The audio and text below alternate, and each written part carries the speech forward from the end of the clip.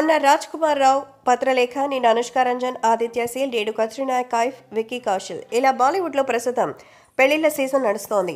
హిందీ పరిశ్రమకు చెందిన తారలు ఒక్కొక్కరు తమ జీవిత భాగస్వామితో కలిసి ఏడడుగులు నడుస్తున్నారు. తాజాగా ఈ జాబితాలోకి మరో బాలీవుడ్ ముదుగుమ్మ చేరనుందనే వార్తలు వినిపిస్తున్నాయి.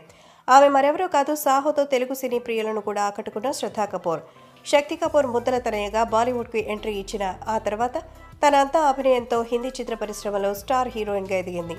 Aashiqui two Baaghi series Ek Villain Half Girlfriend Haider Street Dancer Chhichhore తదితర హిట్ సినిమాలతో క్రేజీ హీరోయిన్గా పేరు తెచ్చుకుంది కాగా సాహోతో టాలీవుడ్ ప్రేక్షకుల్ని పలకరించిన శ్రద్ధ గత కొంతకాలంగా రోహన్ శ్రేష్ఠ అనే ఫోటోగ్రాఫర్తో ప్రేమలో ఉన్నట్టుగా తెలుస్తోంది పలు ఈవెంట్లు కార్యక్రమాల్లో జంటగా హాజరవడం ఈ రూమర్స్కి మరింత బలాన్ని చేకూర్చాయి కాగా శ్రద్ధా కపూర్ వివాహంపై అలనాటి నటి ఆమె మేనత్త పద్మిని కొల్హాపురి తాజాగా ఒక హింట్ ఇచ్చింది దీంతో కత్రినా లాగే త్వరలోనే ఆమె కూడా పెళ్ళిపీట లేకపోతుందనే వార్తలు చక్కర్లు కొడుతున్నాయి.